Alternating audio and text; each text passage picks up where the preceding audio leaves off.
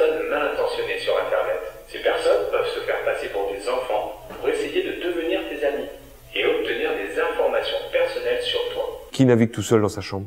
Pas beaucoup, si le permis Internet est un outil de bon usage à l'attention euh, des élèves de CM2 avant leur entrée au collège. Donc on intervient dans toutes les écoles de Coupe-Kerque-Branche euh, où il y a des classes de CM2. Après, il est dédié aussi bien aux enfants qu'aux parents.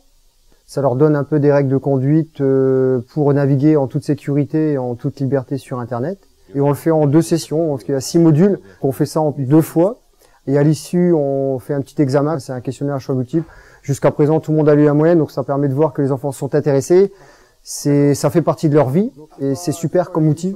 Mais voilà, il faut faire attention. Il faut faire attention à ce qu'on en fait. Il faut l'utiliser de manière sûre, responsable et, et rester vigilant. Voilà. Une fois qu'ils ont compris ça, ils peuvent y aller en toute tranquillité. On peut profiter d'Internet, mais faites des activités à l'extérieur, allez voir vos amis à l'extérieur, profitez de votre famille au maximum en utilisant Internet, mais de manière euh, familiale. On leur remet aussi un petit fascicule. Hein, sur le devant, c'est pour les enfants, à l'arrière, c'est pour les parents. C'est un fascicule qui reprend les modules qu'on a vus en, classe, et ça permet aussi de, de, montrer aux parents ce qui est fait pour leurs enfants en classe. Il y a beaucoup de parents qui n'ont pas grandi avec le web, qui n'ont pas grandi avec les réseaux sociaux, donc ils ne perçoivent pas euh, ces risques, ces éventuels risques, et donc ils ne savent pas comment s'en prémunir. Donc l'information est passée aussi bien aux enfants qu'aux parents en leur donnant des idées et un guide de dire bah voilà si ça t'arrive voilà ce qu'il faut faire en cas de en cas d'alerte. Faut pas divulguer l'information euh, personnelle à des gens qu'on ne connaît pas.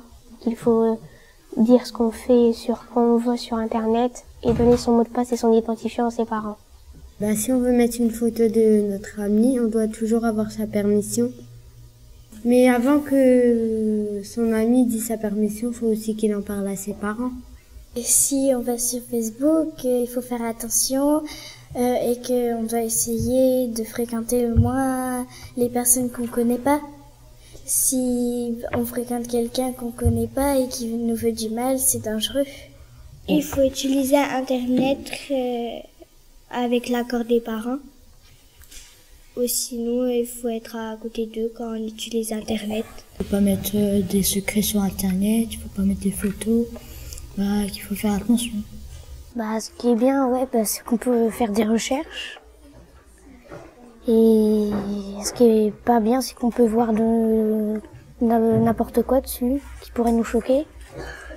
De ne pas répondre euh, aux gens qui nous appellent grâce à Internet, surtout à des inconnus. Et de ne pas